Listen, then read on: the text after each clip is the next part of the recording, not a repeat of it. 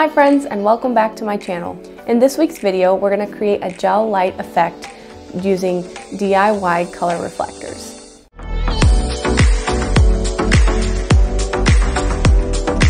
A few weeks ago I posted a video and I made some DIY reflectors using gift wrap from the dollar store. Now in that video I decided to make some color reflectors. I did uh, one in red and one in blue. I really liked that it had created a colorful cast on my subject. So I decided to go back to the dollar store and see if I can find some more uh, colorful paper or colored foil so I can make more reflectors and make some images. If you'd like to check out that DIY reflector video, I will uh, link it above here um, so you can check it out. Now the filler paper that I used for those reflectors um, looks something like this. Um, there's four sheets in a pack and again these are from the dollar store. And I was able to find uh, four colors. Well, they have more colors, but these are the ones I chose. So the colors I chose were green, purple, blue, and red. And I really liked the gold from the last video, so we're also gonna use that today. So today, my model is my best friend Kim, and I'm so glad I don't have to use myself this week. Self-portraits are great and I enjoy them a lot, but I'm kind of wanting to shoot other people. So I'm really thankful that she was able to uh, be a part of this video this week. She has uh, beautiful tattoos on her arms and uh, they're very colorful, uh, very vibrant. So I'm really excited to use her as a model. Of course, she's beautiful. And I think with the color reflectors, um, it'll really help bring out those, those tattoos in her arms. To set up, I just put up my black backdrop and uh, one soft box off in the corner. Other materials that I used in this shoot were my tripod, my remote, my 24 millimeter lens, and of course my reflectors. Now in this instance, I decided to use my remote because I didn't have an assistant to help me with the reflectors. So it was easier for me to put the camera on the tripod, hold the reflector where I wanted it, and then uh, use my trigger or my remote in order to be able to do both jobs at the same time. So for these images, we used two different methods. So the first method we used was just using the softbox uh, to reflect the light and back onto my subject. This method was a little bit trickier, uh, but after playing around with it, we were able to get some nice results.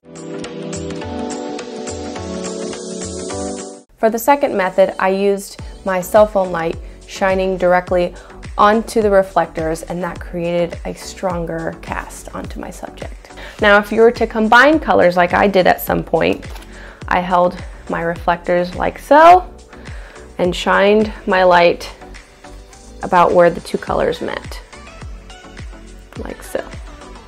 And that created, um, again, a stronger cast and I was able to combine colors.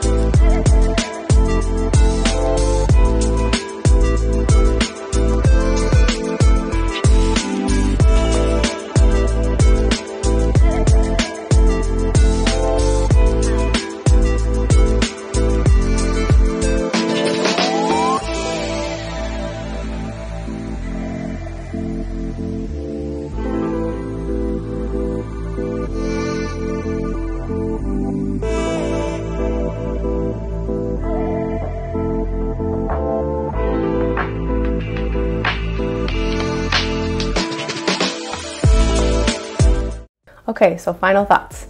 Um, so I think that the pictures, once again, I always say this, but turned out better than I thought they would. I was starting to get a little discouraged with the first method because it wasn't, the cast wasn't as strong as I wanted it to be or I thought that it would be. Um, also, certain colors are much darker, so they're harder to create a, a cast. Like the blue was kind of um, probably the least successful, but I would say the most successful were the red and the gold. The second method I believe was the best, most successful because you could combine colors and the cast was much stronger. The fun thing about this method as well is that um, you don't have to have a DSLR or mirrorless camera. You can easily shoot these types of photos on your cell phone. Um, just use someone else's cell phone or a flashlight and you can create this effect and take some really great selfies or portraits or whatever you want. If any of you guys try out these methods, please tag me. I'd love to see. Um, you can follow me on Instagram at, at Christina Ramos Photography. Thank you again for all of your support so far. I hope you enjoyed this video and I hope to see you next time. And just remember, with a little imagination and creativity, you can make whatever you want. See you next time. Bye! In this little get it together. Oh, that's gonna be loud. Sorry, microphone. Where's my mic? Where's my mic? Really, it fell? Really, it fell? Really?